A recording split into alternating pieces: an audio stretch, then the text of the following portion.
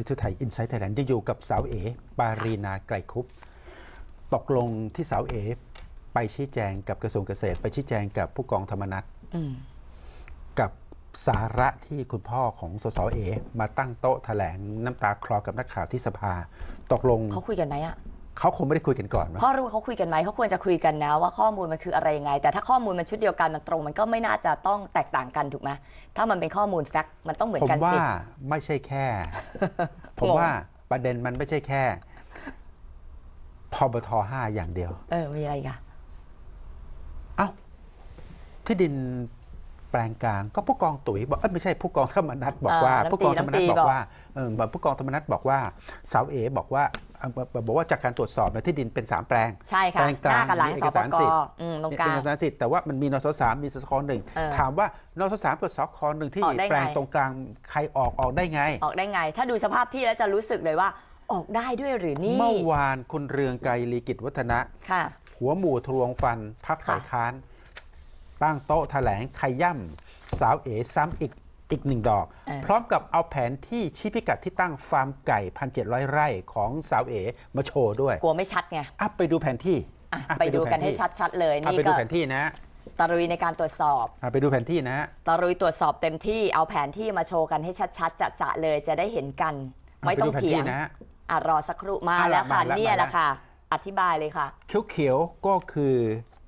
ฟาร์มเลี้ยงไก่ของสาวเอเขาจะเป็นหลังๆใช่ไหมถูกต้องมเป็นหลังๆฟาร์มไก่ก็จะทำเป็นหลังไอ้ตรงเขียวๆอะไอ้ตรงเขียวๆอะไอ้เขียวๆที่อยู่ตรงกลางเนี่ยค่ะก็คือฟาร์มเลี้ยงไก่อืมของสสสสเอๆค่ะ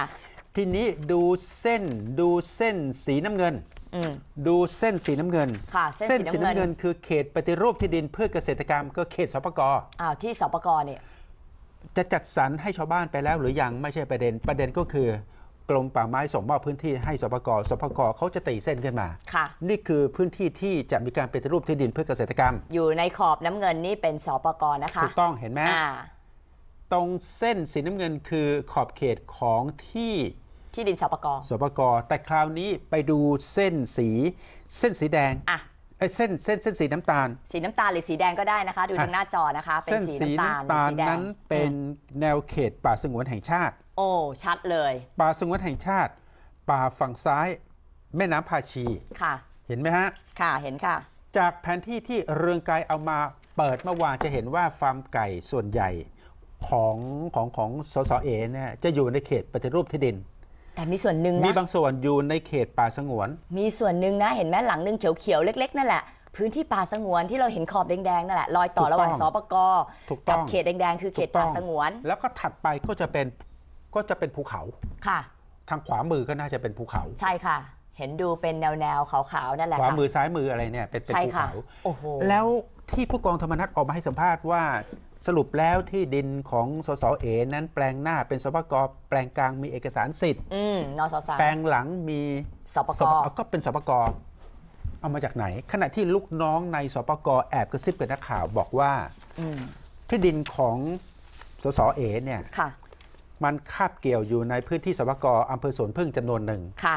คาบเกี่ยวอยู่ในเขตสปกของอำเภอจอมบึงจำนวนหนึ่งและอีกส่วอีนกหจำนนึ่งวนหนึ่งอยู่ในเขตป่าสงวน ชัดเลย ตามและรูปตรงนี้เลย กลางมีพื้นที่เป็นพื้นที่เป็นภูเขา ภูเขา ตรงกลางพื้นที่เป็นภูเขา เอาตรงๆไหมถ้าดูรูปอะมันใช่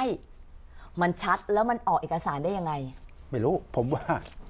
ยาวหนังชีวิตอ่าเรื่องนี้ยาว เอาแผนที่นี้แล้วก็ช่วยมาอธิบายก็ดีนะคะท่านรัฐมนตรีจะได้เคลียร์กันให้ชัดๆเลยว่ายาวไอ้แปลงกลางที่ออกเอกสารมันออดยาว ชี้กันซิว่ามันตรงไหน